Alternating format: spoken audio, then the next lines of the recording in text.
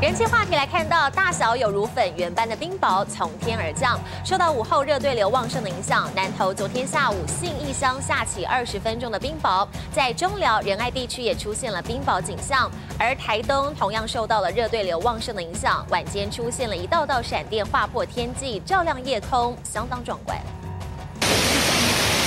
一颗颗大小有如粉圆般的冰雹不断从天而降，砸在地面上，还发出阵阵撞击声。受到午后热对流旺盛影响，南投盘源山庄二十号下午下了二十分钟的冰雹。